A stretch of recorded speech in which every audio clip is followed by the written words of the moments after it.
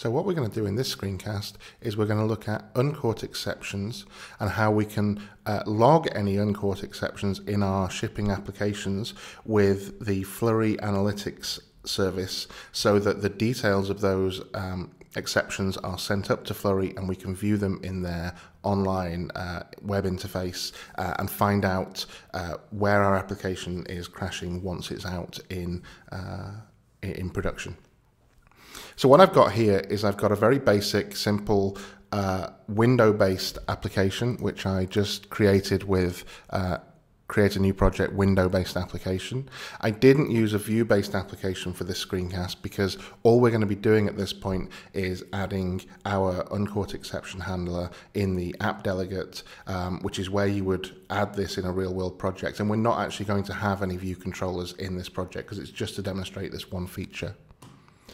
So I created a window-based application and the first thing we're going to do is we're going to implement an, a, a C function, um, which is going to be our uncaught exception handler.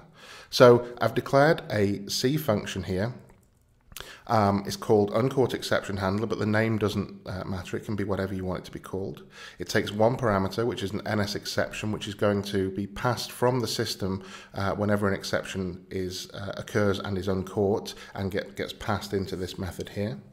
Um, we're also going to have to register this with the system. So I'm going to make a, a, call in my application did finish launching with options method.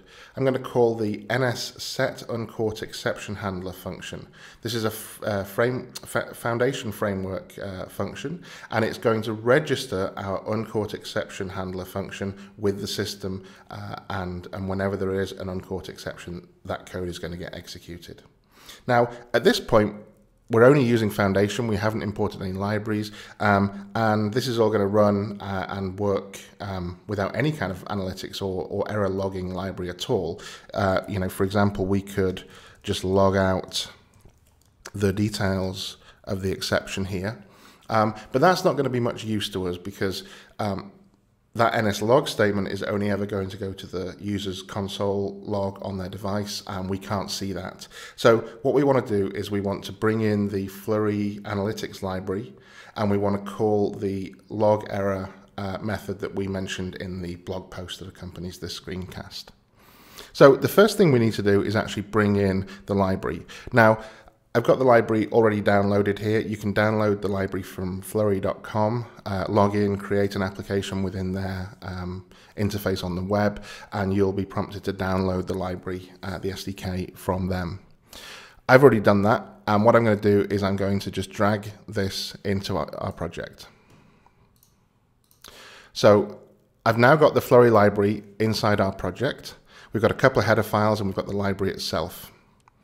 So to use that library, first thing we've got to remember to do is include the Flurry API header file. Otherwise, it's not going to know any of the uh, classes or methods uh, inside that library. The next thing to do is to call a method called start session on the Flurry API class. Now, this is going to set up your Flurry session, and with this, you can do analytics if you want to, um, but what we're going to use it for, for is logging these errors. So you'll be given an API key by Flurry and you should replace uh, that string there with your API key.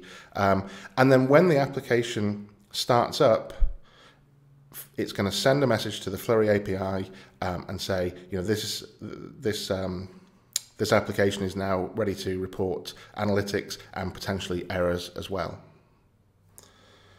The last thing we need to do is we need to just uh, log the error with the Flurry API whenever an error happens. So in our uncaught exception handler, I'm going to call log error colon message colon exception, and I'm going to pass the details of that exception up to the Flurry API.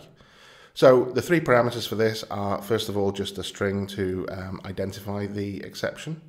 The message, um, I'm actually going to take the name of the exception um, out and pass that up as the message because that's some quite useful uh, information that comes through in that. And then finally, the full exception details uh, also get passed over to Flurry.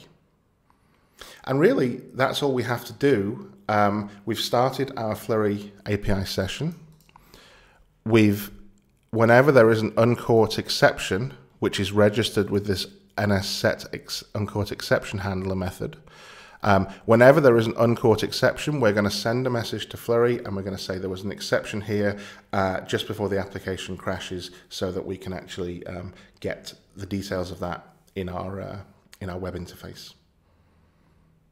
And that's about it.